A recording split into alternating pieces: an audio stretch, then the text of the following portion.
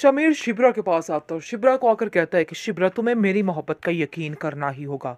तुमने मेरे साथ बहुत बड़ा धोखा किया है। जिसको सुनकर वो कहती है कि, तुम्हें शर्म आनी चाहिए ये बात बोलते हुए। धोखा मैंने नहीं, बल्कि धोखा तुमने दिया है। आगे से आप देखेंगे, कहती है कि, बहुत जल्द तुम्हें मेरी शादी का कार्ड भी मिल जाएगा, क्योंकि मैंने फरहाद के लिए अब हाँ कर दी है और बहुत जल्द तुम्हें भी उधर आना ही होगा। जिसको सुनकर आप देखेंगे कि शमीर कहता है कि, नहीं, तुम ऐसा नहीं कर सकती हो। तुम जो कह रही हो, कह दो कि वो गलत है। लेकिन शिबरा भी गुस्से में आकर ये सब कुछ कह रही है, क्योंकि वो जान ही नहीं सकती थी कि फजल बख्श उससे इतने बड़े झूठ बोल सकता है। इस चीज़ का उसको यकीन ही नहीं आ रहा है। इसलिए आप देखेंगे वो कहती है कि नहीं, मैंने जो फैसला कर लिया है, मैंने कर लिया है। खैर, ये बात का ज़िक्र करता है शामिर सुकैना से और सुकैना को कहता है कि तुम्हें अपनी बहन को समझाना होगा, किस तरह बेवकूफ़ों वाली बातें कर रही है, क्यों इस तरह की हरकतें कर रही है। आगे से आप देखेंगे कि वो उसको कहती है कि आप फ़िक्र मत करें, मैं उसको समझाऊँगी और वैसा कुछ भी नहीं करेगी।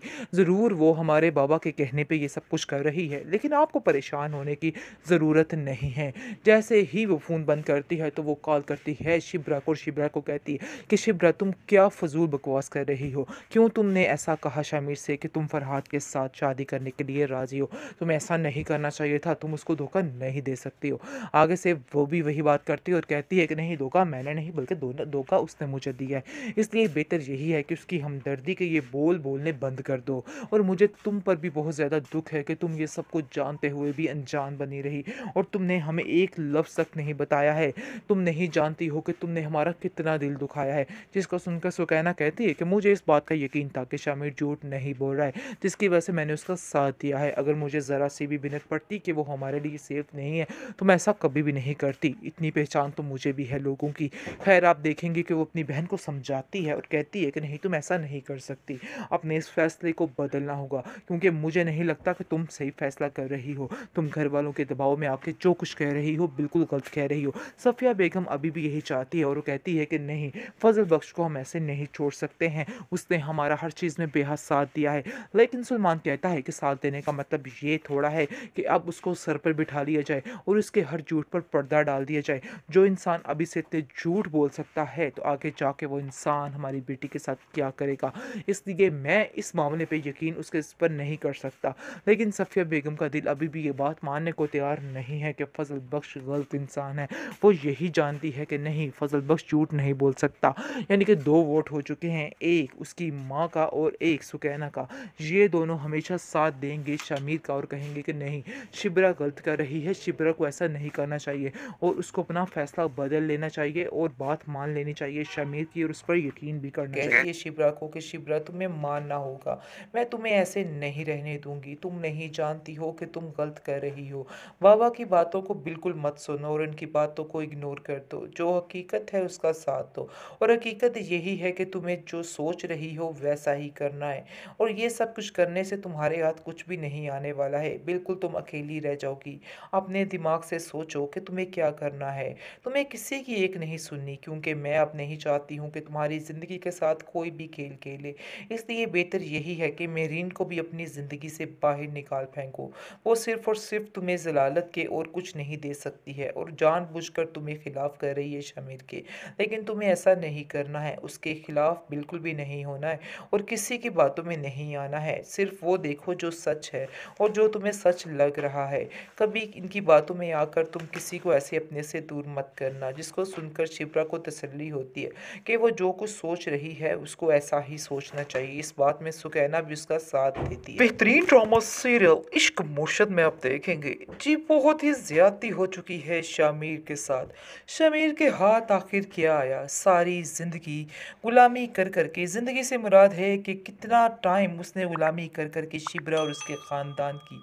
लेकिन असल में आकर देखिए कि शिबरा का बाप किस तरह से उसको दूध काटता है और कैसे धिक्के मार के वहाँ से निकाल देता है। लेकिन जी, सफ़िया बेगम के दिल से अभी तक शमीर उतरा नहीं है। वो चाहती है कि सारे गिले शिकवे ख़त्म हो जाए और वो शामिर की बात मान ले।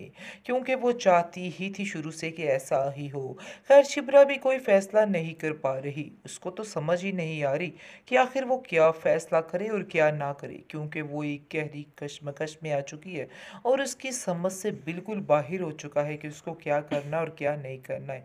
इस बात ने उसको मज़ीद टेंशन बढ़ा दी है, क्योंकि वो इतनी सख्त परेशान है कि परेशानी के आलम में जाने वो कहती है कि मुझे तो कुछ समझ नहीं आ रही कि मैं क्या करूँ। मैं किसका साथ दूर किसका ना दूँ? वो अपने बाप की तरफ़ देखती है तो मज़ीद परेशान हो जाती है, क्योंकि उसका बाप चाहता ही नहीं है कि ये लड़की अब मज़ीद अपने कदम आगे बढ़ाए।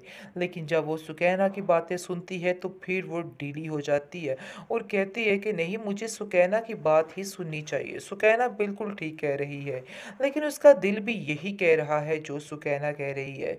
लेकिन अभी वो खामोश हो जाती है, क्योंकि वो परेशानी के आलम में समझा ही नहीं पा रही कि आखिर उसे क्या करना है और क्या नहीं करना है। लेकिन उसकी माँ उसको कहती है कि, बेटा, जो फैसला करना, अपने दिल से करना, अपने दिमाग से करना, किसी की ना सुनना, ये तुम्हारी ज़िंदगी है और मैं तुम्हारी ज़िंदगी के साथ कोई भी खिलवाड़ नहीं होने दूँगी। तुम जानती हो जैसा कि सुकैना की शादी मेरी मर्ज़ी के ख़िलाफ़ की गई है और मैं बिल्कुल भी राज़ी नहीं थी उस घर में उसे भेजने के लिए। लेकिन उसके नसीब के आगे मैं कुछ भी नहीं कर पाई। लेकिन मैं तुमसे सिर्फ़ एक बात करूँगी कि तुम्हें अपनी मर्ज़ी करनी है, किसी की कोई नहीं सुननी। तुम्हारे बाप भी आड़े आ गया तो मैं उसको समझा लूँगी और उसको संभाल लूँगी। तुम्हें बिल्कुल भी फ़िक्र नहीं करनी, किसी की भी फ़िक्र नहीं करनी है।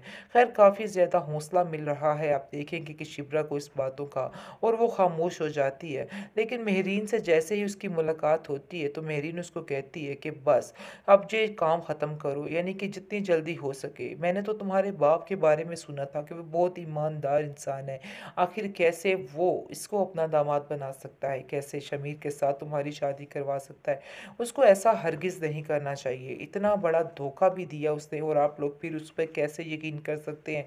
जिसको सुनकर शिबरा कहती है कि ये आपका मसला नहीं, ये हमारे घर का मसला है और मैं आपको बिल्कुल भी हक नहीं देती कि आप मेरे घर के मसलों में कुछ भी बोलें। दूसरी तरफ़ सुकैना की कॉल आती है जी और कहती है शिबरा को कि शिबरा तुम्हें मानना होगा। मैं तुम्हें ऐसे नहीं रहने दूँगी। तुम नहीं जानती हो कि तुम गलत कर रही हो। बाबा की बातों को बिल्कुल मत सुनो और उनकी बातों को इग्नोर कर दो। जो हकीकत है, उसका साथ दो। और हकीकत यही है कि तुम्हें जो सोच रही हो, वैसा ही करना है। और ये सब कुछ करने से तुम्हारे हाथ कुछ भी नहीं आने वाला है। बिल्कुल तुम अकेली रह जाओगी। अपने दिमाग से सोचो कि तुम्हें क्या करना है। तुम्हें किसी की एक नहीं सुननी, क्योंकि मैं अब नहीं चाहती हूँ कि तुम्हारी ज़िंदगी के साथ कोई भी खेल खेले। इसलिए बेहतर यही है कि मेरीन को भी अपनी ज़िंदगी से बाहर निकाल फेंको। वो सिर्फ़ और सिर्फ़ तुम्हें जलालत के और कुछ नहीं दे सकती है और जानबूझकर तुम्हें ख़िलाफ़ कर रही है शमीर के। लेकिन तुम्हें ऐसा नहीं करना है, उसके ख़िलाफ़ बिल्कुल भी नहीं होना है और किसी की बातों में नहीं आना है। सिर्फ़ वो देखो जो सच है और जो तुम्हें सच लग रहा है। कभी इनकी बातों में आकर तुम किसी को ऐसे अपने से दूर मत करना, जिसको सुनकर शिप्रा को तसल्ली होती है कि वो जो कुछ सोच रही है, उसको ऐसा ही सोचना चाहिए। इस बात में सुकैना भी उसका साथ देती है।